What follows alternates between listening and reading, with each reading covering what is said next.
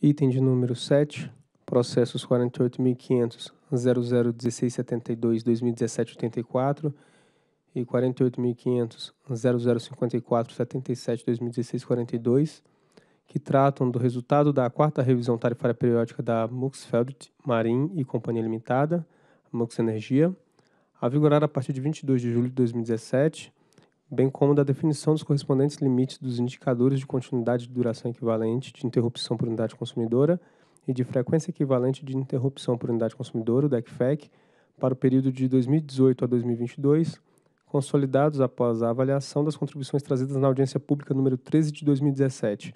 Relator, diretor José Jurosa Júnior. Contrato de concessão de distribuição número 87 2000, que regulou a exploração de serviço público de distribuição de energia elétrica na área da Mux Energia, estabelece a data do dia 22 do 7 17 para a realização da quarta revisão tarifária periódica concessionária. E em 2 do 6 de 15, o decreto 8461 regulamentou a prorrogação das concessões de distribuição após a lei 12783 de 13 autorizar a prorrogação dos contratos. Em dezembro de 15, em processo conduzido pelo MMF, foi assinado o termo aditivo ao contrato de concessão da Mux Energia, que prorrogou a concessão por um período de 30 anos. As metodologias aplicáveis às revisões tarifárias periódicas concessionárias de distribuição de energia elétrica estão contidas no modo 2 e 7 do PRORET, que tratam do cálculo da revisão tarifária e da estrutura tarifária. A presente proposta contempla as alterações nas cláusulas econômicas do novo contrato de concessão de distribuição aprovado pelo despacho 2194-16, cujas alterações do PRORET foram aprovadas em fevereiro de 17 por meio da resolução 761. Em 11 do 4 17, na 12ª reunião pública ordinária, a diretoria da ANEL decidiu instaurar a P13 com o objetivo de discutir com a sociedade a proposta de revisão tarifária. E o período de contribuição se estendeu de 12 do 4 a 29 de maio de 17, com sessão presencial no dia 27 do 4, na cidade de Tapejara. Em, no dia 23 do 6 de 17, a proposta consolidada da revisão tarifária, após a avaliação das contribuições trazida na P13, foi encaminhada à Mux Energia ao Conselho de Consumidores. Em 29 de 6 17, na sede dessa agência, foi realizada reunião com representantes da empresa para discutir a proposta final de revisão tarifária, momento em que a concessionária apresentou as suas contribuições finais, e o Conselho de Consumidor optou por não participar da reunião proposta. As informações relativas aos cálculos de perdas técnicas regulatórias foram prestadas pela SRD por meio da nota técnica 35, de 17, Quanto à base de remuneração, os valores foram informados pela SFF por meio do memorando 293, também 17. E por meio da nota técnica 73, a SRD analisou as contribuições apresentadas na audiência pública e recomendou ao SGT adote o valor de perda de distribuição nos cálculos da revisão tarifária conforme nota técnica 35. Por sua vez, a SGT, mediante nota técnica 201, submeteu à diretoria colegiada o resultado final da revisão da MUX Energia, e, por fim, verificou-se que não consta em nada imprensa registrada em nome da MUX de Energia relativa a obrigações intrasetoriais. É o relatório, a Procuradoria já se manifestou. E essa revisão tarifária leva a um, conduz um efeito médio a ser percebido do consumidor de 5,44, sendo 0,43 em média para o consumidor conectado em alta tensão e de 9,1 em média para os consumidores con conectados em baixa tensão, conforme tabela abaixo e esse efeito médio decorre do reposicionamento dos dos custos da parcela A e B, com efeito tarifário negativo de 2,06, da inclusão dos componentes financeiros apurados no atual processo tarifário com efeito tarifário negativo de 0,35 e da retirada dos componentes financeiros estabelecidos no último processo tarifário realizado em julho de 16, que vigoraram até a presente revisão que representa um impacto positivo de 7,84%. E o gráfico 1 apresenta detalhamento do efeito médio por modalidade de custo. Então, o custo é bastante alto da, de transmissão e, da mesma forma, o custo de aquisição de energia ele é negativo. Mas ele tem o, o principal componente, o efeito da retirada dos componentes financeiros anteriores, que faz com que esse reajuste seja bastante positivo. E o principal deve ser o custo da parcela B, entre os subgrupos tarifários em razão do recálculo da estrutura tarifária, estrutura vertical e a nota técnica da estrutura tarifária analisa detalhadamente esse efeito. Quanto ao reposicionamento tarifário, que consiste na definição das tarifas do nível compatível com a cobertura dos custos operacionais e eficientes da remuneração dos investimentos prudentes. E essa tabela 2 ela apresenta todos os itens detalhados para que compõem a revisão tarifária da MUX. No que tange a parcela A, Os custos de transmissão impactaram na revisão em 4,74% em razão da homologação da nova tarifa da RGE, que é a principal supridora da MUX. O custo com encargos setoriais impactaram na revisão em menos 1,81. Destaque-se a redução do orçamento da CDE US, decorrendo da homologação das cotas anuais de CDE para o ano 2017, conforme a resolução homologatória 2204, que com, contribuiu para uma redução do efeito médio de 1,28%. E os custos de compra de energia impactaram na revisão em menos 4,75, contribuindo para esse resultado a contratação com a Copel GT no valor de R$ 145,51 por megawatt-hora.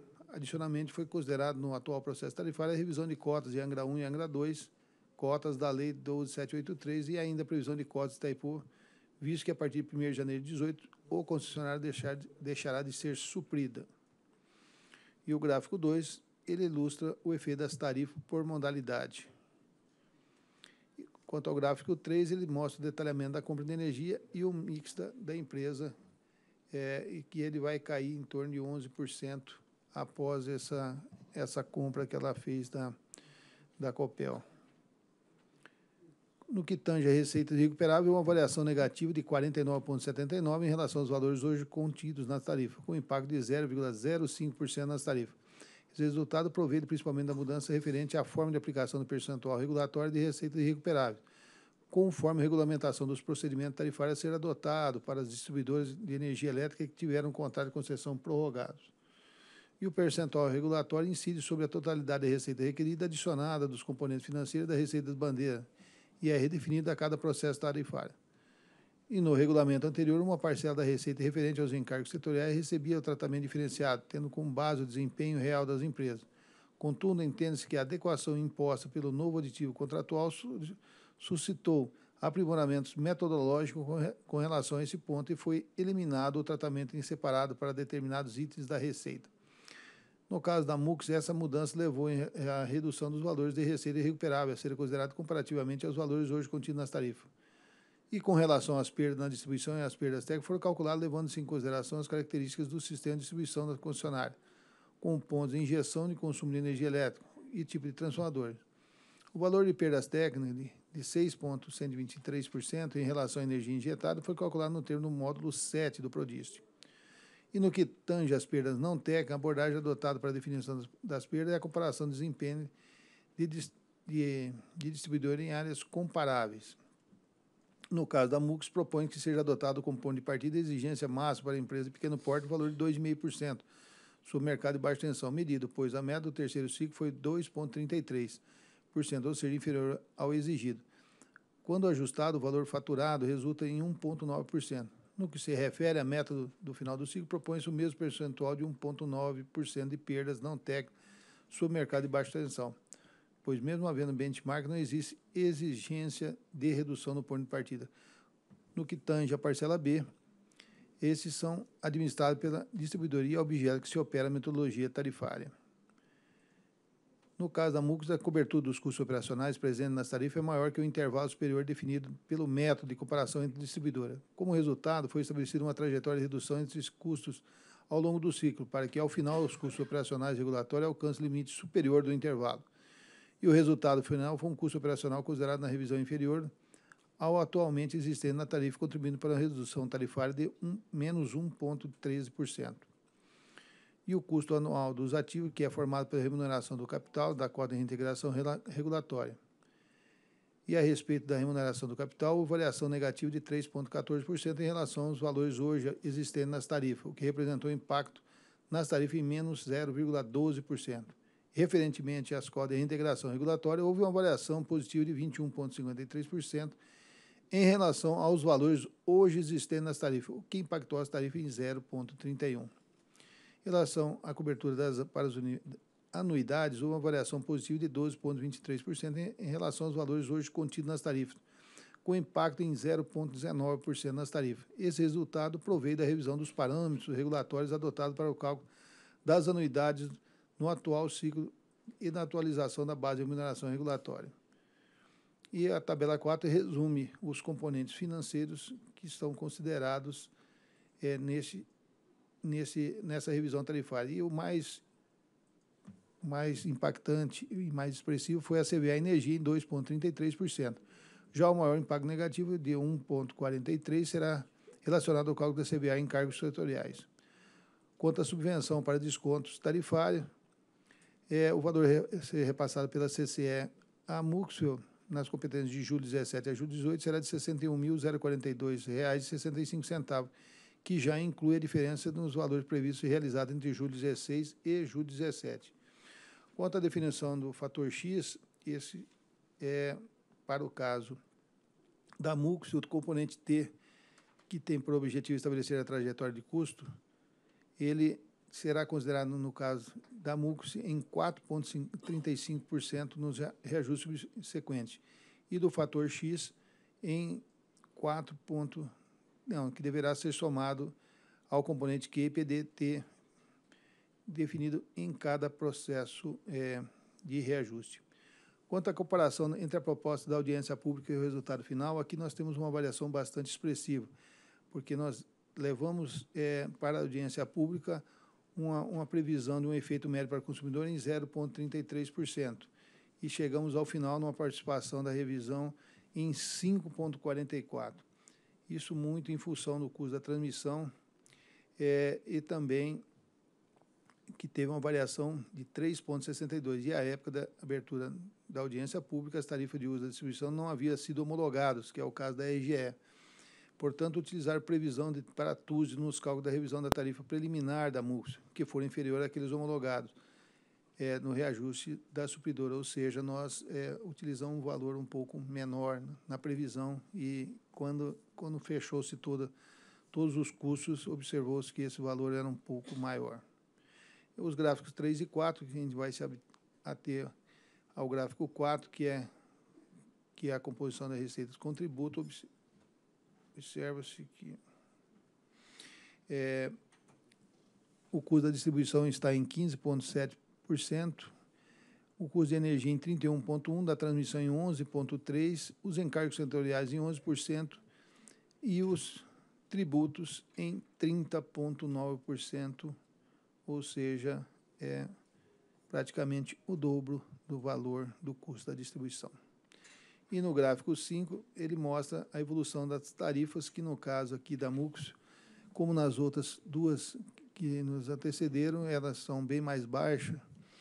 É, ela vai, ao final dessa, dessa revisão, para R$ 446,90, a tarifa B1, é, abaixo da, da, da variação do IPCA, se essas tarifas fossem corrigidas apenas pelo IPCA ou pelo IGPM mas também um valor, como nas outras, inferior ao reajuste de maio de 15. Quanto aos limites é, indicadores de qualidade, é, não foi apresentado por parte do distribuidor contribuições acerca do valor do limite, tampouco solicitação de reconfiguração de conjuntos das unidades consumidoras. Dessa forma, passa-se a proposta final, que no caso da MUX, os limites globais período, proposta para o período de 18 a 22 é uma redução anual de 2,5% no VEC. E já no DEC o limite se manteve estável no período. Então, nós vamos, ela sempre se é, sempre apurou bem abaixo do, dos limites. É, então, é importante que esse limite é, seja mantido. E para avaliar os limites globais, observa-se que ela está também bastante na média das outras distribuidoras da mesma, da mesma região que é a região sul. Então, é, com, res, com respeito aos indicadores individuais DIC, FIC, DIMIC, DICRE, os limites definidos a partir de indicadores coletivos DEC, DEC, como consta no anexo 1 do módulo 8 do PRODICE. E aí nós temos na tabela 6 as compensações efetuadas pela MUX. É, curiosamente, vocês observam que em 2013 teve apenas uma compensação né, de 54 centavos. É, e agora aumentou bastante, mas mesmo assim, se você observar, o valor total é 3 mil reais, ou seja, é um valor bastante pequeno.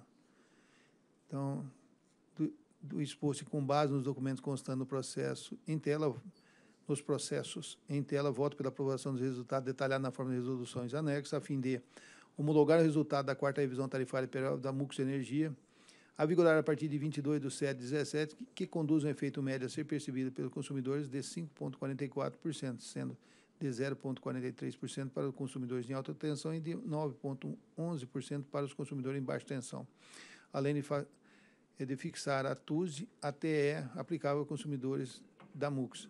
Aprovar também o valor mensal de recursos da CDE a ser repassado pela CCE de modo a custear o desconto retirado da estrutura tarifária, fixar o componente T do fator X de, de 4,35%, fixar os indicadores DEC-FEC para o período 18 a 22 a ser observado pela MUX Energia e também fixar o, re, o referencial regulatório para perdas de energia e reajuste de 2018 a 2021, conforme tabela abaixo é o voto. Em discussão.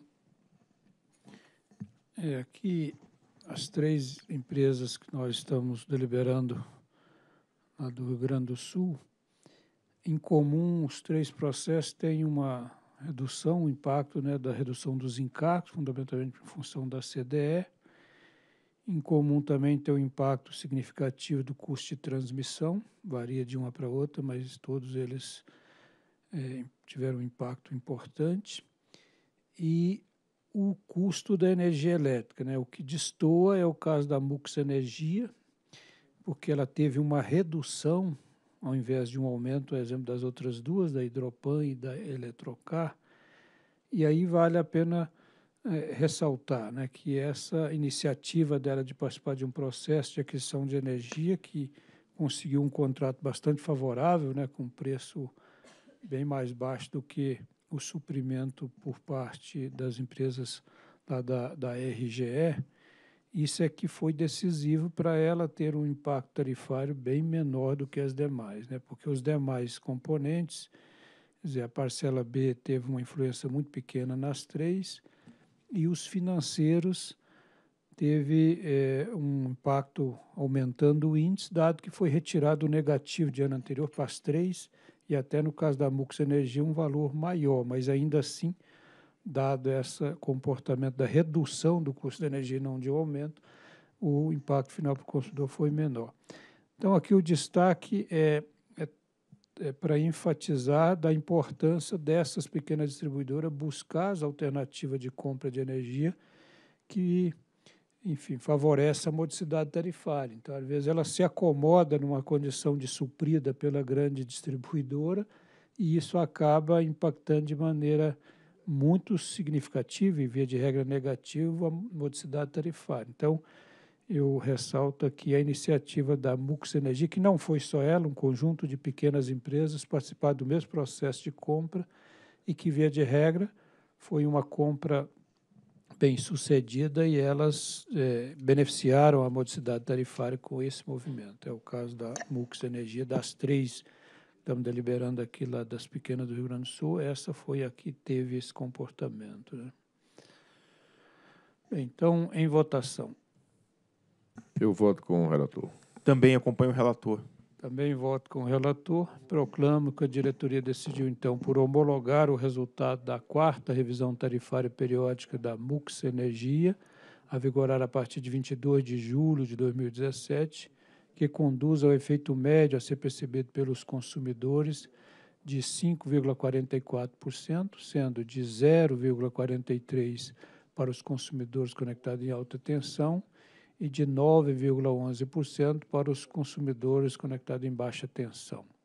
Fixar a tarifa de uso do sistema de distribuição e tarifa de energia aplicáveis aos consumidores e aos usuários é, da Mux Energia. Aprovar o valor mensal dos recursos da CDE a ser repassado pela CCE a, a MUX, né, de modo a custear os descontos retirados da estrutura tarifária.